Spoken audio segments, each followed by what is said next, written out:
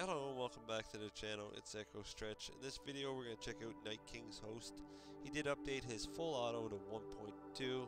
As for the change logs, he lowered down the jailbreak size, added PS4 trainers offline reference, added new loader, the Netcat.js, uh, added new modifications on the web. As for the activator, he added the PSN base 64 ID, add a PS4 controller or fan controller.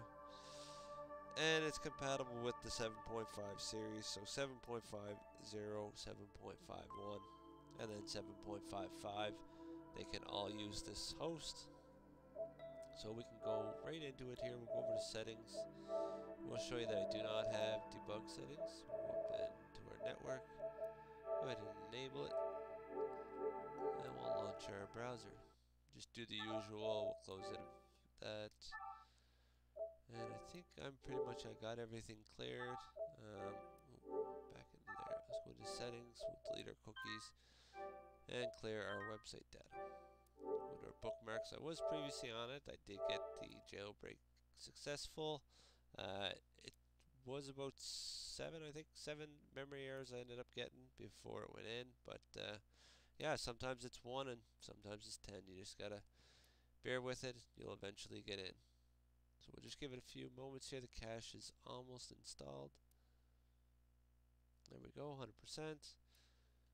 So we can hit our PlayStation button and go over and disconnect from the internet. Go ahead and launch our browser. And we'll just give it a few moments here. It shouldn't take too long. We'll see how many memory errors we get, but hopefully we get in right away. Okay, so there's one.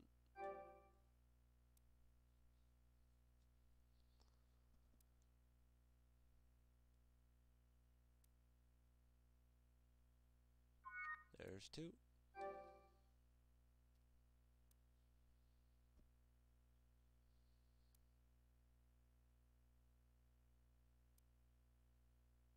There's three.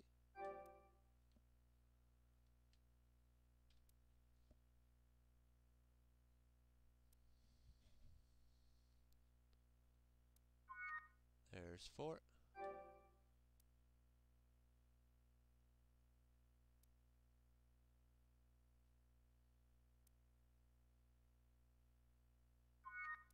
There's five.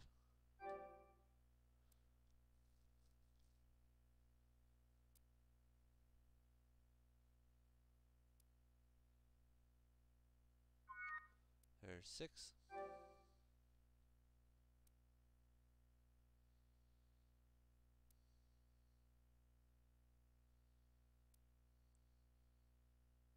And there we go, we're going in now. 50%.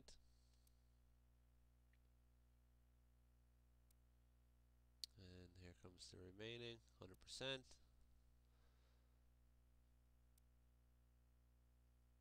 Okay, and we have a few options here which kernel exploit we want to use. Um, obviously, we're going to use the newest one, which is July 20th, 2021. So we'll go ahead and click on that.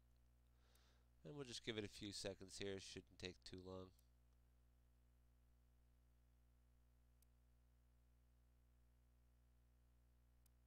And there we go. We are in.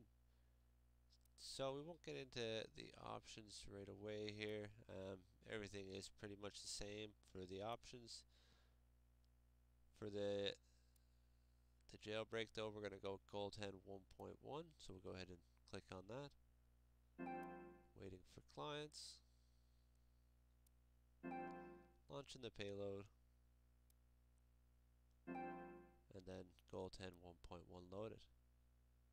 So we'll go ahead and load another payload. We're going to go with Orbis's toolbox. Go ahead and just select it. As you can see, we don't have to go through that whole process again. We can just load the payload. So there we go, launching payload. And Orbis's toolbox loaded. So let's go ahead and hit our PlayStation button. We'll just exit out. And as you can see up in the right, we do have our toolbox. We'll go to settings just to confirm we have our settings. Uh, toolbox is there. And that's it. So all the settings for that. You can put up the dev panel if you want. I usually have it up there. I'm not sure how it ended up turning off, but uh, yeah, that's fine. Then we'll go down. I will show you that we do have debug settings, and uh, everything is in there. So let's go ahead and launch a game.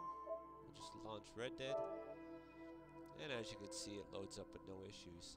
Uh, so if you like the video, go ahead and hit the like button. If you're not subscribed, hit that subscribe button. It really helps out the channel. And that's it for this video. I'll see you in the next one. Thanks for watching.